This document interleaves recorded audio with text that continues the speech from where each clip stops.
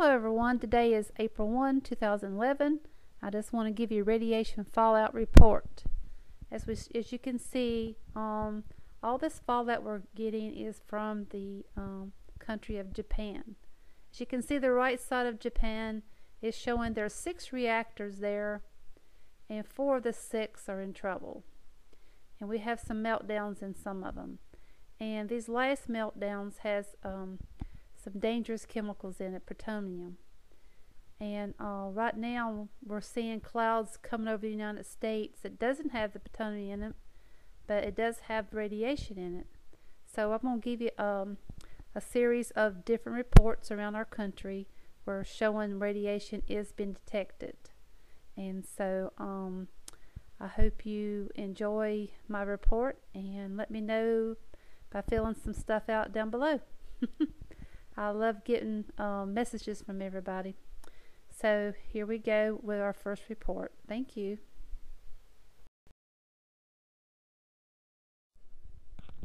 Okay, here I found an article on the internet, uh, CBS News out of uh, St. Louis.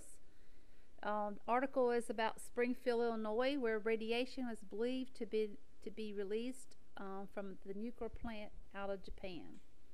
Uh, what happened was they were doing a uh, regular drill because they have nuclear plants in their area, and they took grass clippings as part of that drill, and to their surprise, the samples came back and they were tested positive for radioactive iodine. So, because of that, they took samples of the Springfield air and it also detected a radiation material. But according to Patty Thompson over at the Illinois Emergency Management Agency, she's saying the levels are low.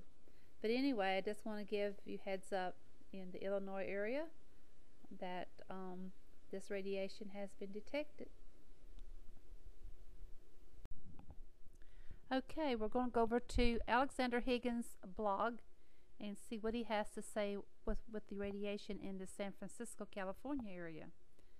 Um, the EPA has been telling everybody there's no harmful levels of radiation from the Japan nuclear fallout. But the University of, of Berkeley in California has did testing and they're reporting that the rainwater in San Francisco is at a level of 18,100% above federal drinking water standards. Okay, EPA, you're, you're doing a cover up here. You're supposed to be protecting the American people, and you're not doing it. You're supposed to let people know when something like that is coming around. So, just want to give everybody the heads up that EPA is not doing their job. So, a big uh, thank you goes out to um, this Alexander Higgins blog. Um, and thank you for putting that information out there for people to know. Okay, I just want to give you also some reports that we've received uh, came out on Wednesday up in the state of Washington that the government announced that uh, traces of radiation has been discovered in the milk there, but because it's so low, it wasn't any health risk. And then over on the East Coast, uh, state of Virginia, are telling their um, their residents not to drink the rainwater since the radiation has been discovered on the East Coast. We also have had a friend of mine to let me know that there's been radiation found in the milk in upper state New York. Okay, we're doing a um, simulation map that's showing the potential of uh, radiation fallout over North America. And just want to give you a little description of the simulation map before I show it to you. Uh, as you can see, the light purple um, has will come in first, and then you'll see the dark blue. Uh, it's going to be coming from the uh, Canadian border and coming down to the Midwest, and then coming down to the Mid South, and then over to the East Coast. Um, you'll notice at the top of the page they'll have um, the date and the time of the simulation and when it's going to come in. So um, please make note of that. According to Dr. Deagle, uh, if, if it rains or snows in your area, it, it's got the potential to bring us to the ground.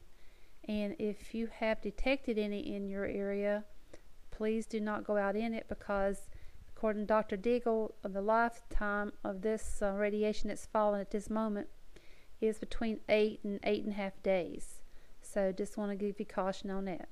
So okay, we're going to watch the simulation and um, please be sure to check it every day. Uh, I'll get put the link below. Thank you.